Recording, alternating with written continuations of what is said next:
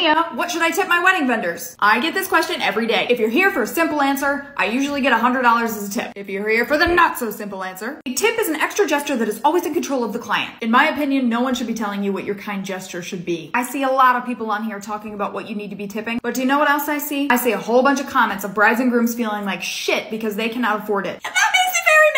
If you're finding a wedding vendor hung up on tips, that concerns me. We set our prices, set them accordingly. You can do a $20 tip, you can do a $5,000 tip. It will always be up to you. And if you want, you can do the guidelines 10% or 20% if that helps you. But do not let anybody tell you what you need to be tipping. You make that choice.